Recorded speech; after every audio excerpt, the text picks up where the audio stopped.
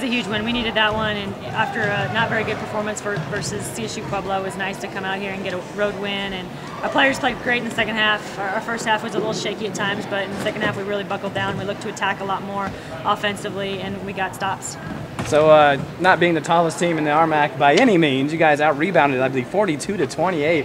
Uh, what, what, was practice like this week in that uh, facet? We've been working on rebounding a lot in the last couple weeks just because we have to have great position. If we don't have great position, we're not going to get rebounds. And so our team did a great job boxing out and, and just really pursuing the, the defensive glass as well as the offensive glass. Um, you know, we had a lot of times four to the offensive boards, and, and, that's our goal, and that's what we want, and we were able to come up with, with some good ones.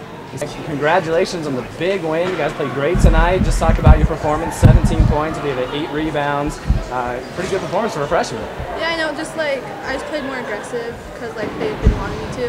So that's just I just started doing it having more confidence because they had confidence. So just talk about. I mean, one thing that uh, that, uh, that you have to deal with every night. I mean, you guys aren't the tallest team by no means in the conference. You're 5'10", maybe you're less than that. I don't know. Maybe they have you just a little bit bigger, but you got to face 6'5", 6'3". I mean, your body's got to be just just aching right now. But I mean, what's it like to having to go against those type of uh, you know, tall athletes? It's tough, but like we've practiced playing with a guy that's like 6'5", so I play with him every day in practice. So he helps me